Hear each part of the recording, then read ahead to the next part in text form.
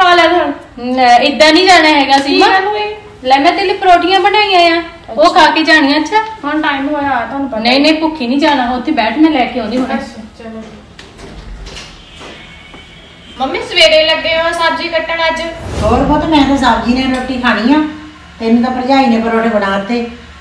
ਮੈਨੂੰ ਕਿਹੜਾ ਪਰੌਠੇ ਬਣਾ ਕੇ ਦੇਣੇ ਆ ਹੁਣ? ਮੰਮੀ ਇਦਾਂ ਨਾ ਕਿਹਾ ਕਰੋ ਤੁਸੀਂ। ਤੁਹਾਨੂੰ ਨਹੀਂ ਬਣਾ ਕੇ ਦੇਣੇ ਹੋਰ ਕਿਹਨੂੰ ਦੇਣੇ ਆ? ਭਾਬੀ? ਹਾਂਜੀ। ਆ ਮੰਮੀ ਨੂੰ ਪਹਿਲਾਂ ਪਰੌਂਠੇ ਲਿਆ ਕੇ ਦਿਓ ਲੈ ਮੰਮੀ ਉਹਨਾਂ ਨੇ ਮਨਾ ਕੀਤੇ ਆ ਡਾਕਟਰ ਨੇ ਤਲੀ ਚੀਜ਼ ਨਹੀਂ ਖਾਣੀ। ਅੱਛਾ ਦੇਖ ਲਓ ਮੰਮੀ। ਆਹ ਸੀਮਾ ਤਾਂ ਡਾਕਟਰ ਨੇ ਤਾਂ ਬੰਦ ਕੀਤਾ ਸੀ ਮੈਨੂੰ। ਪਰ ਜੇ ਹੁਣ ਡਾਕਟਰ ਦੀ ਮੰਨੀਏ ਫਿਰ ਤਾਂ ਬੰਦਾ ਭੁੱਖਾ ਹੀ ਮਰ ਜਾਵੇ। ਤੇ ਨਾਲੇ ਭਰਜਾਈ ਦੇ ਨਹੀਂ ਤਾਂ ਬਹਾਨਾ ਚਾਹੀਦਾ ਆ। ਬਸ ਕਰਿਆ ਕਰੋ ਮੰਮੀ ਬਸ ਕਰਿਆ ਕਰੋ। ਤੁਹਾਡੇ ਭਲੇ ਲਈ ਕਰਦੇ ਆ ਵੀ ਤੁਸੀਂ ਠੀਕ ਹੋ ਜਾਓਗੇ। ਆਹੋ ਕਿਸੇ ਵੇਲੇ ਜੀ ਕਰੇ ਹੀ ਹੁੰਦਾ ਬੰਦੇ ਦਾ ਖਾਣ ਨੂੰ। ਭਾਬੀ ਤੁਸੀਂ ਮੇਰੇ ਪਰਾਂਠੇ ਪੈਕ ਹੀ ਕਰ ਦਿਓ ਮੈਂ ਉੱਥੇ ਜਾ ਕੇ ਖਾ ਲਵਾਂਗੀ ਮੈਂ ਪਾਈ ਦਿੱਤੀ ਸੀ। ਨਹੀਂ ਟਾਈਮ ਹੋ ਗਿਆ ਤੁਸੀਂ ਪੈਕ ਕਰ ਦਿਓ। ਚਲੋ ਠੀਕ। ਸੀਮਾ ਅੱਜ ਪਰਸ ਦਾ ਫੇਰ ਚੇਤਾ ਭੁਲਾ ਦਿੱਤਾ ਸੀ। ਲੈ ਦੇਖ ਲੈ ਮੇਰੀ ਸੋਹਣੀ ਭਾਬੀ ਕਿੰਨਾ ਖਿਆਲ ਰੱਖਦੀ ਹੈ। ਤੇਰਾ ਹੀ ਖਿਆਲ ਰੱਖਣਾ। ਹੋਰ ਥੋੜਾ ਨਾ ਕਿਸੇ ਦਾ। ਚਲ ਸੀਮਾ ਤੈਨੂੰ ਛੱਡਿਆ ਵਾ ਪਰੌਠੀ ਪਾ ਦਿੱਤੀ ਆ ਖਾਣੀ ਆ ਚੇਤੇ ਨਾਲ। ਠੀਕ ਹੈ ਭਾਬੀ। ਹਾਂ ਚਲੋ ਆ ਜਾ ਫਿਰ ਠੀਕ ਛੱਡਿਆ ਵਾ ਫਿਰ। ਚੰਗਾ ਮੈਂ ਛੱਡ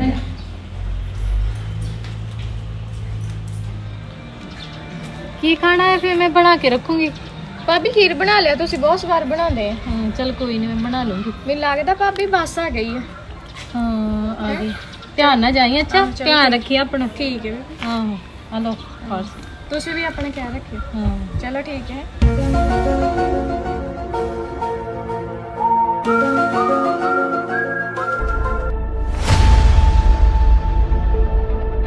ਸੀਮਾ ਆਈ ਨਹੀਂ ਪਤਾ ਨਹੀਂ ਕੀ ਹੋਇਆ। ਉਹਨੂੰ ਕਹਿੰਦੀ ਬਾਸ ਹੀ ਨਹੀਂ ਮਿਲੀ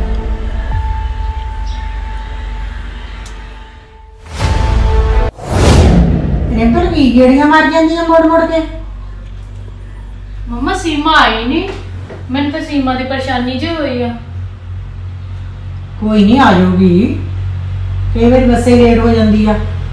ਸ਼ਾਇਦ ਉਹਨੂੰ ਬੱਸ ਹੀ ਨਹੀਂ ਕਰਨੀ ਮਿਲੀ ਤਾਂ ਧੁੱਪ ਵੀ ਬਹੁਤ ਜ਼ਿਆਦਾ ਆ ਬਾਹਰ। ਕੋਈ ਨਹੀਂ ਆ ਜਾਣਾ ਕੋਈ ਨਹੀਂ ਫਿਕਰ ਨਾ ਕਰ। ਕੋਈ ਨਹੀਂ ਮੰਮਾ ਮੈਂ ਇੱਥੇ ਬੱਸ ਸਟਾਪ ਤੱਕ ਦੇਖ ਕੇ ਆਉਣੀ ਆ।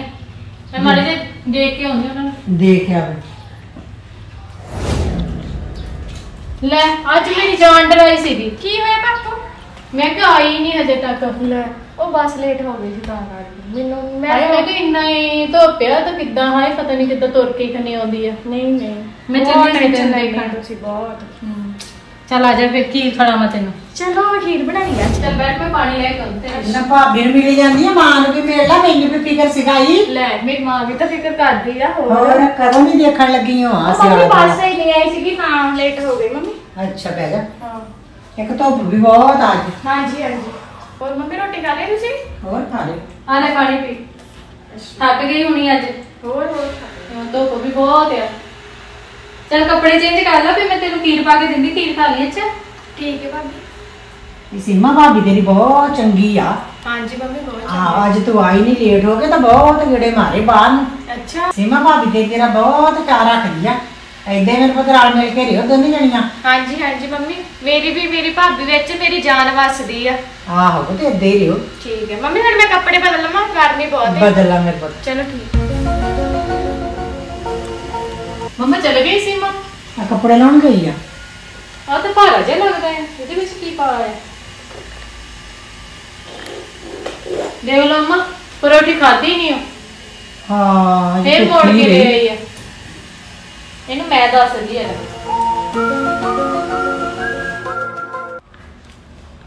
ਸੀਮਾ ਅੱਜ ਫੇਰ ਨੀ ਪਰੌਠੀ ਖਾਧੀ ਆ ਨਾ? ਤੁਹਾਨੂੰ ਪਤਾ ਲੱਗ ਗਿਆ ਸੀ। ਮੈਨੂੰ ਲੱਗ ਗਿਆ ਸੀ ਪਤਾ। ਮੈਂ ਬੈਗ ਚੈੱਕ ਕਰ ਲਿਆ ਸੀ ਤੇਰਾ ਪਰਸ ਉਹ ਭਾਬੀ ਟਾਈਮ ਹੀ ਨਹੀਂ ਲੱਗਾ ਸੀ ਕੋਲੇ ਤਾਂ ਕਰਕੇ ਸੌਰੀ ਹੂੰ। ਖੀਰ ਕਿਤੇ ਸਵਾਦ ਲੱਗੀ?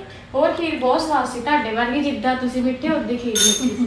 ਚੱਲ ਮਜ਼ਾਕ ਕਰਦੀ ਰਹਿੰਦੀ। ਚਲੋ ਭਾਬੀ ਨੇ ਕਰਨਾ ਹੈ। ਹੋਰ ਹੋ ਲੈਣੀ ਬਸ ਬਸ।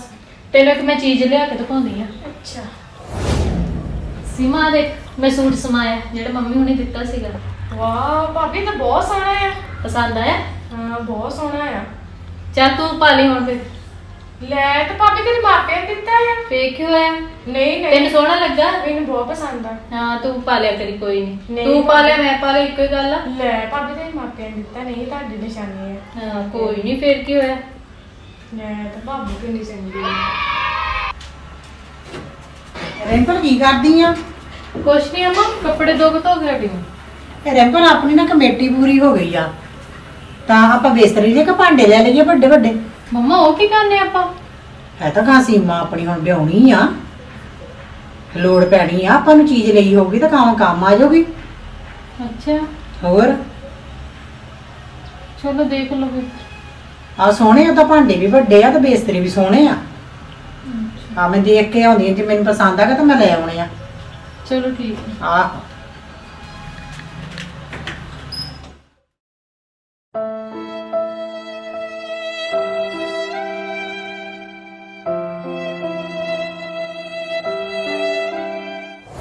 ਹਾਏ ਮੰਮੀ ਹੁਣੇ ਸੀਮਾ ਦੇ ਵਿਆਹ ਦੀ ਕੀ ਗੱਲ ਕੀਤੀ? ਮੇਰਾ ਤਾਂ ਮਨ ਹੀ ਉਦਾਸ ਹੋ ਗਿਆ। ਹਾਏ, ਜਦੋਂ ਵਿਆਹ ਹੋ ਜਾਣਾ ਉਹਦਾ, ਮੇਰਾ ਕਿੱਥੇ ਦਿਲ ਲੱਗਣਾ ਆ? ਕਿੱਦਾਂ ਰਹਿਣਾ ਮੈਂ ਉਹਦੇ ਤੋਂ ਬਿਨਾ? ਮੈਂ ਕਦੀ ਸਮਝਿਆ ਹੀ ਨਹੀਂ ਉਹਨੂੰ, ਮੇਰੀ ਨਨਾਣ ਅਸੀਂ ਤਾਂ ਭੈਣਾਂ ਭਾਣਾਂ ਵਾਂਗੂ ਰਹਿੰਦੀਆਂ ਆ।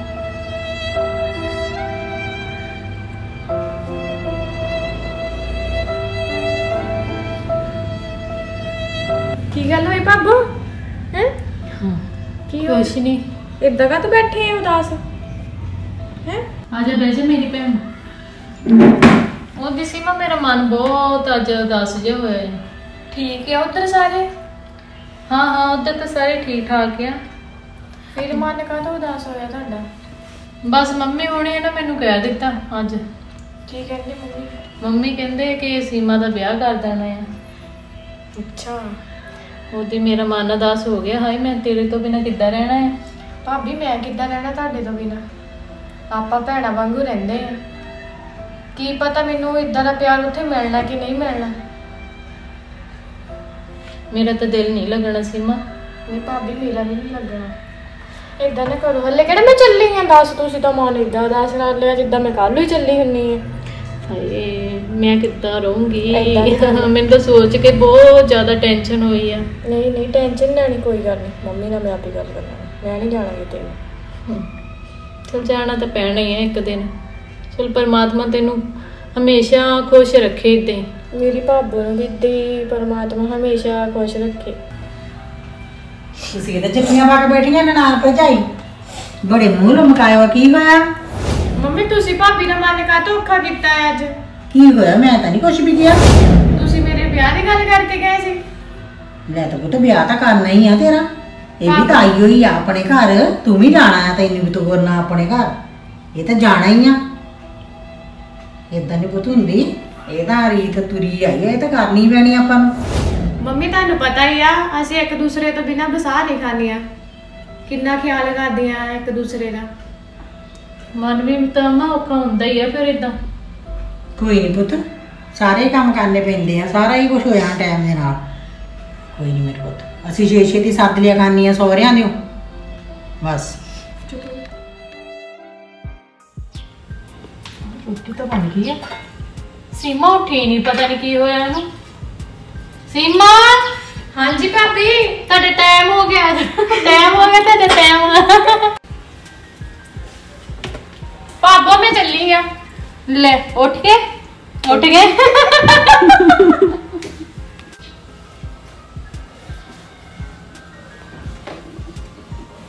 ਭਾਬੋ ਮੈਂ ਚੱਲੀ ਆ ਹੁਣ ਕਾਲਰ ਨਾ ਸੀਮਾ ਇਦਾਂ ਨਹੀਂ ਜਾਣਾ ਹੈਗਾ ਸਕੂਲ ਲੈ ਤਾਂ ਸੀਮਾ ਤੇਰਾ ਬਹੁਤ ਇਹ ਕਰਦੀ ਆ ਭਾਬੀ ਤੇਰੀ ਹਾਂਜੀ ਮੰਮੀ ਠੀਕ ਹੈ ਚਲ ਹਾਂਜੀ ਮੰਮੀ ਠੀਕ ਨੇ ਸੀਮਾ ਭਾਬੀ ਤੇਰੀ ਬਹੁਤ ਤੇਰਾ ਪਿਆਰ ਕਰਦੀ ਆ ਬਹੁਤ ਇਹ ਕਰਦੀ ਤੇਰਾ ਹਾਂਜੀ ਹਾਂਜੀ ਮੰਮੀ ਮੇਰੀ ਵੀ ਜਾਨ ਵਸਦੀ ਹੈ ਭਾਬੀ ਵਿੱਚ। ਆਹੋ ਤੇ ਇਦਾਂ ਹੀ ਹੋਣੀ ਚਾਹੀਦੀ ਆ।